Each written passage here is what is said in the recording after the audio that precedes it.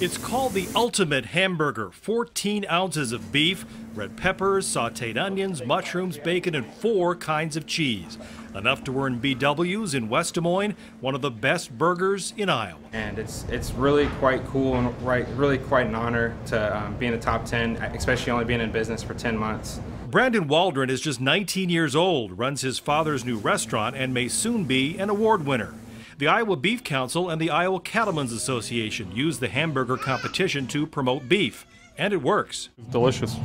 Jeremy Bassett drove all the way from Colfax after seeing the top 10 winners on KCCI.com today. We like burgers, so we like to find a good burger place.